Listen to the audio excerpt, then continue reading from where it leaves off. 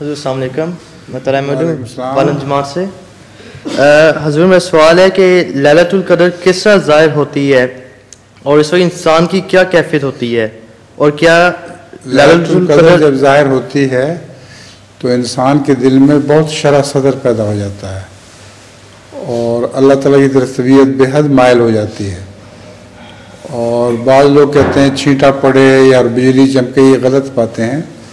लैलतुल तो दिल की तस्कीन से है और ऐसी फिर क़वत कुदसिया मिलती है कि इंसान हमेशा के लिए गुनाहों से पाक हो जाता है। हजूर क्या ये रमज़ान के अलावा भी ज़ाहिर हो सकती है?